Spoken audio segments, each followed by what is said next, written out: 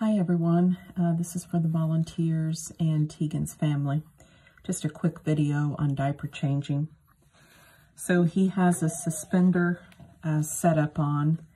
So volunteers, as we're on the trip, you do not need to take this off. Just leave this on. There's two clips under here, and you just undo those.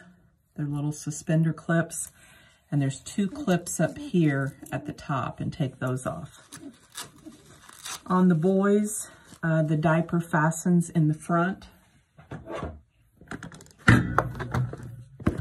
So you'll just undo the tabs that were in the front and just drop the diaper down like this.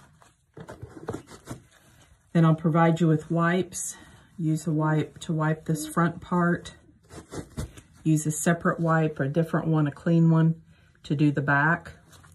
And in this case, uh, he had a little bit of stool in his diaper. So you just make sure you get the area clean.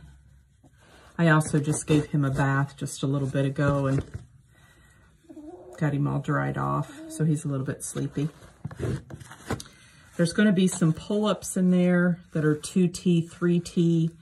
These are the smallest pull-ups they make. They're a little bit big. So if you use the pull-ups, you'll have to fold it back. But for the volunteers for the trip, um, I'm sending uh, these size three diapers. So just slide the diaper under, bring it over the top, put the tabs to the front here since it's a boy. We do it a little different for the girls.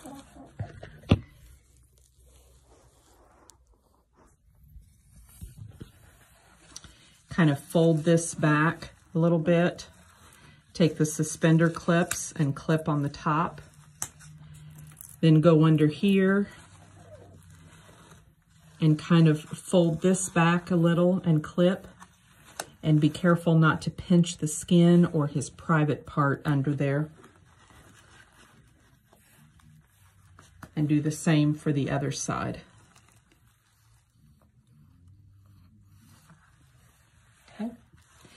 And again, if you use the pull-ups, you do not have to open the sides. You can just thread his legs through there and pull it up.